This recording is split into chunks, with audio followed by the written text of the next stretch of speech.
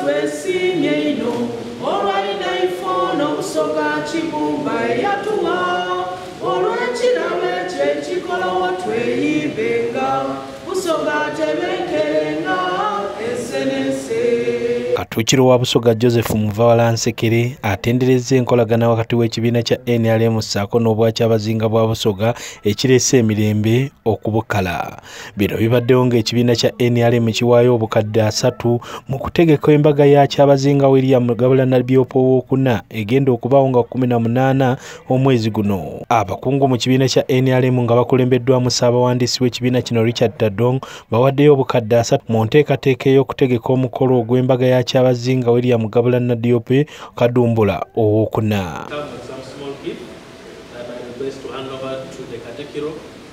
the the. This is a contribution of only 30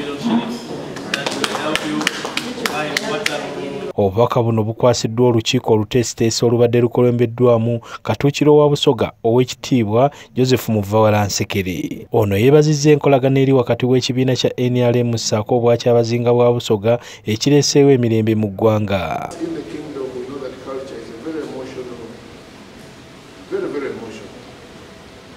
Culture evokes very high emotions. It is up to government and the parties now to tap into those emotions. What we present to you are very high emotions.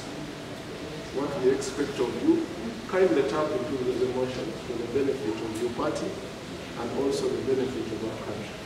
ssaabawandiisi wa nrm richard todong atuusizza obubaka bw'ekibiina era n'ayagaliza kyabazinga embaga ennungi We in particular thank Usoga Kingdom for being accommodative to Ugandans. We know that Busoga is a united Uganda. All the tribes of Uganda are settled and happily contributing to the economy of Uganda through Busoga Kingdom and the districts of Busoga. So we need to thank you so much for being accommodative and to accepting Ugandans the way they are and providing for them and guiding them through. Ssaabawandiisi w'ekibiina kino richard todong oluvudde wano akyaliddeko ssaabasumba w'essaza ekkulu erya kampala kitaffe mu katonda dr paul simwogerere wabula akafubo kano ke babaddemu tekakkiriziddwamu bannamawulire. Oluvannyuma tadongo ng'avuddeyo atubulidde ekigendererwa eky'okukyala ewa ssaabasumba.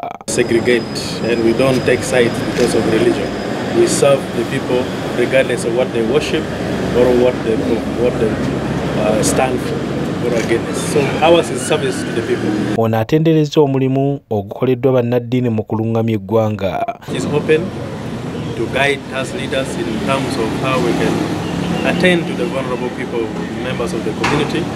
We have also brought him greetings from His Excellency the President of the Republic of Uganda. amyuka rcc w'e lubaga anderson bulola asabye bannaddiini okukwasizaako gavumenti mu kusomesa abantu ebibakulaakulanya. Naye tubasabye nti nno okwogera obwogezi tekimala wabula wabeewo n'enkolwa tewabaawo ayogeddwako.